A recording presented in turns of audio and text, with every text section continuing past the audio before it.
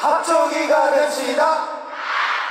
자 마지막이니까 우리 잠깐만 인사하는 시간만 갖고 그리고 나중에 여러분들과 뭐 선물 나눌 시간 따로 줄 테니까 ค่ะเนี่ยละสุดท้ายแล้วเนี่ยขอให้เขาละกล่าวคำลาก่อนนะคะเรียบๆก่อนของขวัญให้ทีหลังดีกว่านะคะลังลังค่ะ 그래요. 우리 팀장도 한마디 있습니다. แล้วก็เดี๋ยว